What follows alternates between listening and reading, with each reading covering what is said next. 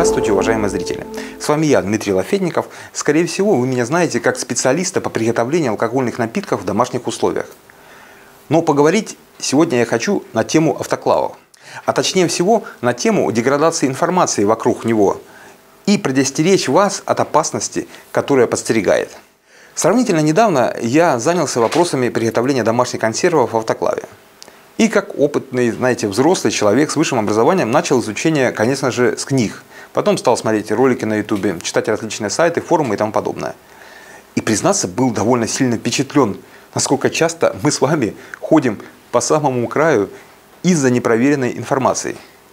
А ведь на кону часто стоит не только наша жизнь, но и самых близких нам людей, с кем мы обычно и разделяем свою трапезу.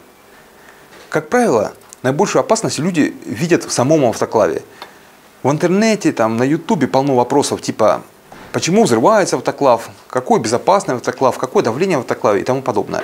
Вопрос, конечно, важный, никто не спорит. Но современные автоклавы оборудованы кучей клапанов, термометров и манометров. При соблюдении минимальных требований безопасности и если при работе просто включить голову, взрыв автоклава ну, маловероятен.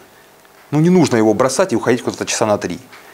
На мой взгляд, главная опасность поджидает вас внутри самого автоклава, в тех консервах, что вы порой делаете.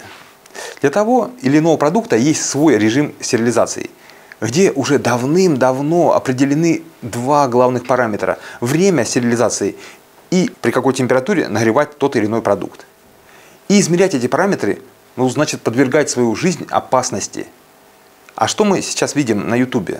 Здесь полно рецептов с нарушениями технологий – элементарных технологий.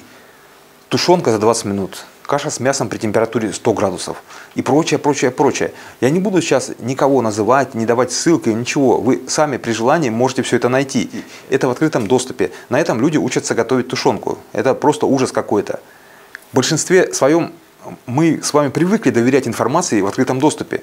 Но сейчас это опасно. Информацию могут выкладывать далеко очень далеко некомпетентные люди в каком-то либо вопросе. Поэтому я вас призываю, знаете, ну не знаю, заклинаю, прошу там, вот смотрите YouTube, читайте форумы, общайтесь, обменивайтесь рецептами и опытом. Вот сколько угодно, это все чудесно и здорово.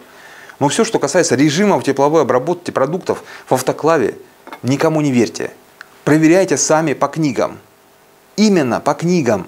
Понимаете, приготовление консервов – это не приготовление самогона – эта тема, по крайней мере у нас в стране, никогда не была ни запрещена, ни табулирована. В интернете, в открытом доступе полно подробнейших, компетентных учебников по автоклавированию. Не чьих-то фантазий с громким названием «Книга рецептов такого-то и такого-то», которая перепечатала красивая девочка с наманикюренными пальчиками или мальчик в белой рубашке э, смартфоном во второй руке, не вполне вдаваясь в цифры. Именно полно книг, учебников, написанных профессорами и кандидатами наук. Если вы не можете сами найти эти книги, то я вам оставлю под этим роликом ссылку, где вы найдете кучу литературы по консервированию мяса, рыбы, овощей, грибов, круп и тому подобное. Они, понимаете, в открытом доступе. Они совершенно бесплатные. Просто скачайте, изучайте. Не хотите изучать слишком много текста, заумно написано и тому подобное, хорошо. Просто проверьте сами, сколько реально вы должны греть кашу с мясом. И не верьте никому, в том числе мне. Я тоже могу ошибаться. В завершение хочу сказать, что, возможно, вы сейчас испугаетесь и вообще передумаете заниматься автоклавированием. Это будет ошибка. Посмотрите вокруг. Наша жизнь окружена консервами. Мы их, если сами не делаем, то едим уже это точно. А когда мы делаем сами, то хоть знаем, из чего делаем – так стоит ли себя ограничивать вот в этом вопросе? Просто соблюдайте меры предосторожности. Вы должны четко понимать, что, как и зачем вы делаете. Просто помните, что прежде всего, что жизнь и здоровье ваших близких и вас, прежде всего, в ваших руках. У меня все. Здоровья, вкусный консерв. С вами был я, Дмитрий Лафетников и производственная компания «Добрый жар».